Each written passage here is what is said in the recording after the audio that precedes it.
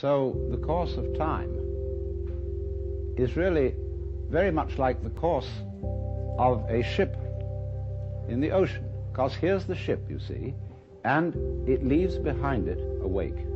And the wake fades out, and that tells us where the ship has been in just the same way as the past and our memory of the past tells us what we have done. But as we go back into the past, where all record of the past fades away in just the same way as the wake of the ship.